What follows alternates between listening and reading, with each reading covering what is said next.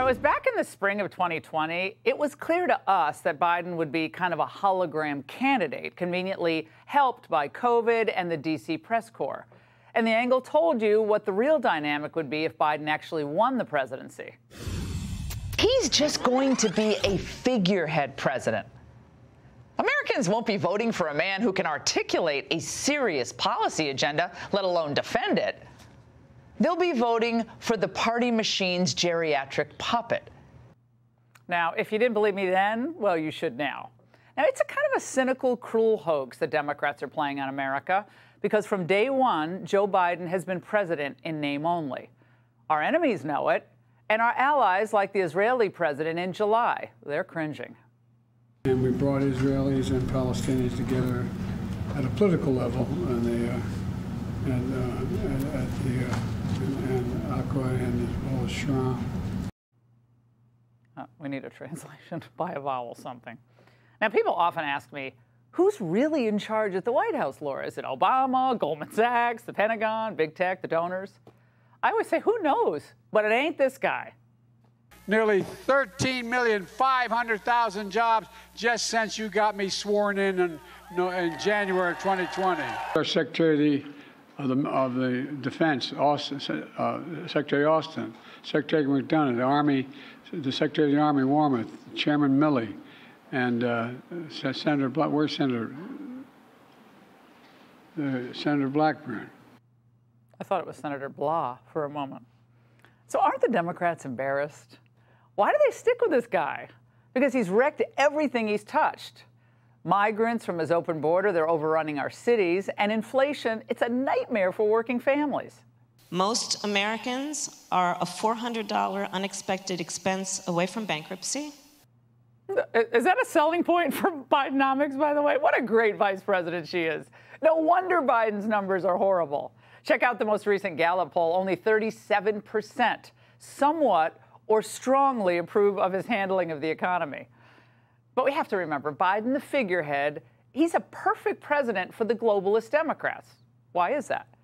Because he'll never give the establishment any pushback. Not against the open border, not against keeping wages low, not against high energy prices, certainly not against their Ukraine policy, and not against the trans insanity. And that's just how they like him compliant. But the voters, at least on some of this stuff, they don't agree. A new poll shows that 73% of all voters, including two thirds of the Democrats, believe that Biden's too old for another term. Two thirds of Democrats. Yet what's amazing is the party that claims to be the great guardians of democracy is itself run by a dictatorship of the elites. Even NBC News is admitting that the Democratic elites who hold high office raise the money and pound the campaign message that they're all in when it comes to President Joe Biden's reelection. In other words, what Democrat voters think or what they want is not relevant to the party establishment. They readily concede that they hear doubts about whether Biden is up to the job. Their response? Get over it. Wait, uh, get over it? That's how they treat their own voters. No wonder the entire country is such a mess.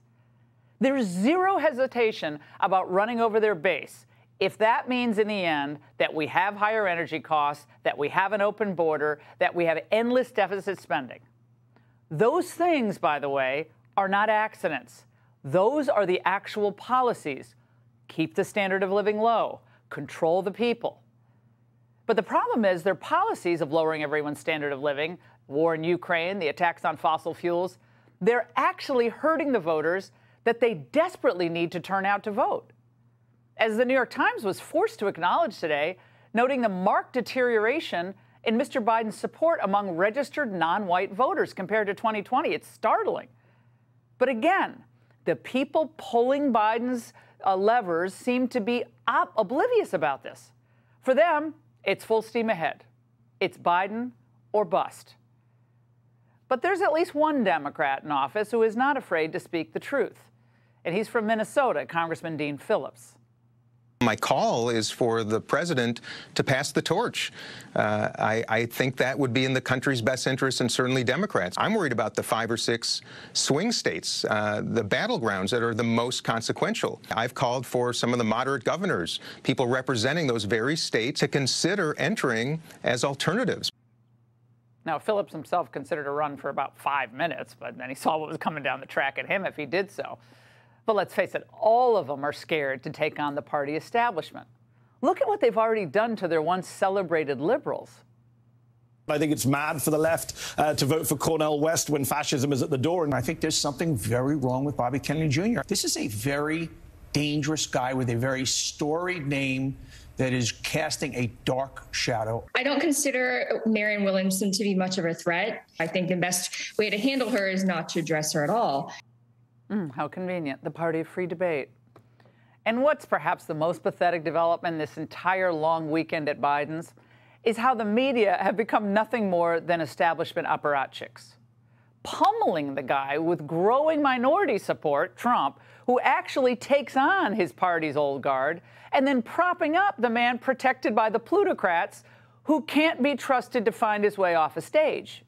Some people may be disappointed with Joe Biden, but they'll find him more acceptable than Donald Trump. And that Donald Trump has a ceiling beyond which he cannot grow, whereas Biden at least has the potential of bringing people back home to him.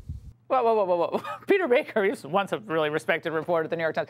Does he not read the polls about minority voters abandoning the Democrat Party? Now, the fact is, so called journalists love the Democrat dictatorship themselves that's actually keeping Biden right where he is. And they like it for the same reason the same reason they love mail in ballots, ballot harvesting, proposals for online voting, even, and the lockdowns. Because they don't really trust the voters, not even their own we, the voters, have to destroy the Republican Party in order to save it. This is a, a chaotic, um, uh, in many ways authoritarian, um, incoherent kind of, of agglomeration uh, that's not really an organized political party, that doesn't really have a, a coherent philosophy or governing program, uh, except tear it down. Gene tear what down? A, a vibrant economy, immigration enforcement, our energy independence, our history? Nope. That's what the forces behind Biden did and are still doing. That's the fallout from a figurehead presidency. And it's all according to plan, whether you like it or not. And that's the angle. Hey, Sean Hannity here. Hey, click here to subscribe to Fox News YouTube page and catch our hottest interviews and most compelling analysis. You will not get it anywhere else.